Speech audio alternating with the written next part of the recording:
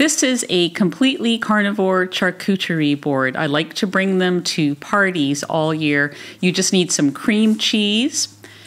You can roll it up into prosciutto slices, cut it up into bite sized pieces, roast beef slices, bite sized pieces, smoked salmon. That one goes fast. Same thing, just roll it up.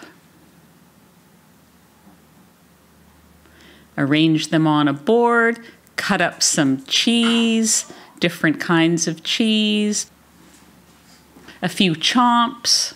Best part is the carnivore Melba toast. They are like crackers. You can make that using the carnivore crisp flour, or you can just leave it as party bread, but the crispy toast is great. Enjoy.